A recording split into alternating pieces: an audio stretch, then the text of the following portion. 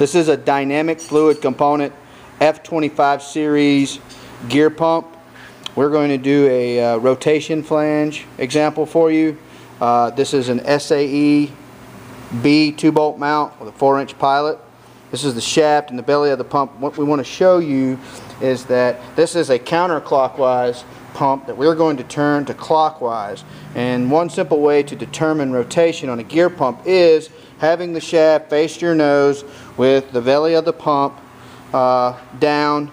The larger size port will indicate your inlet size and it's very clear to see here that the right side of our pump's port is larger which is a number 16 SAE, therefore causing the rotation to be counterclockwise. So uh, we're going to take this model and disassemble it and change the rotation on an F25 dynamic gear pump.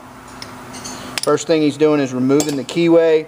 That way your seals are not, your shaft seals not damaged during removal.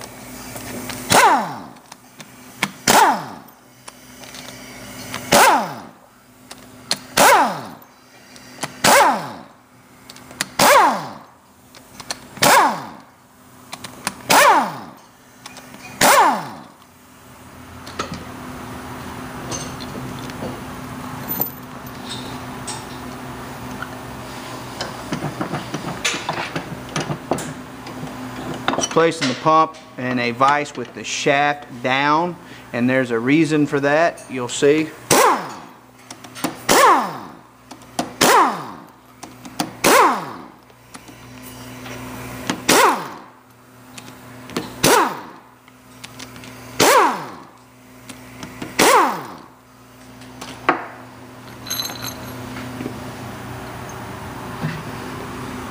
There's his end cap. Now here, he's going to hold, push the shaft up.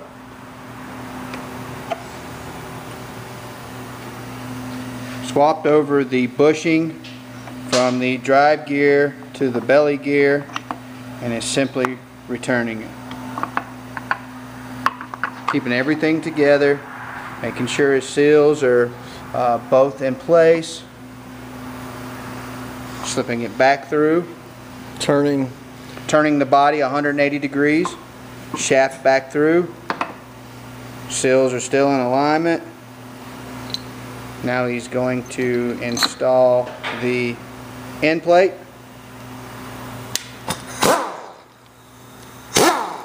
Never use a different.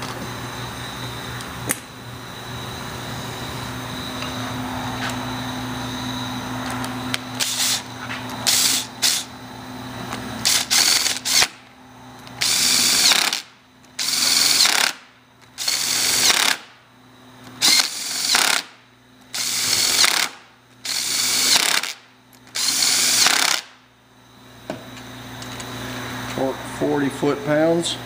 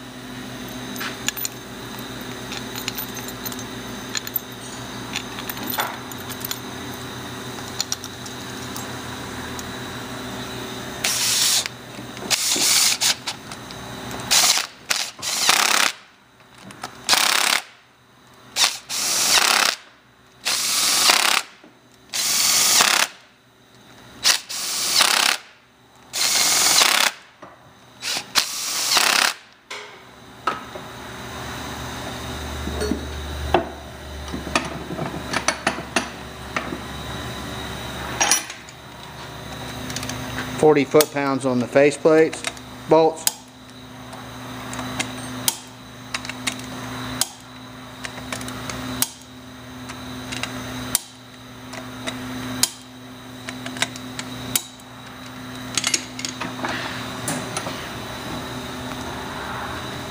Now this will show you the rotation change and we've removed the cap so you can see the larger port.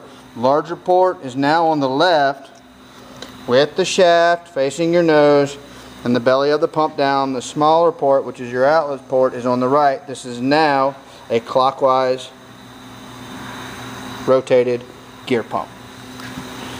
Now, if you were in the field and we took this originally as a clockwise and turned it back twice, uh, just to show some examples today. But if you were in the field and you were to change this from clockwise or counterclockwise, we in-house would uh, buff this off and replace it with an A for anti or counterclockwise. I suggest you do the same in the field. That way it's there's no question. Uh, but again, you can always, when in doubt, look at the example we showed you in determining rotation. Thanks for watching.